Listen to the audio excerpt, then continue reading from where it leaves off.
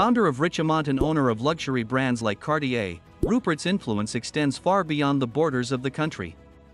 His ventures in the luxury goods sector have not only amassed immense wealth but have also elevated the global perception of South African entrepreneurship. Rupert's commitment to sustainable business practices and environmental conservation sets him apart. Reflecting a broader trend towards responsible entrepreneurship,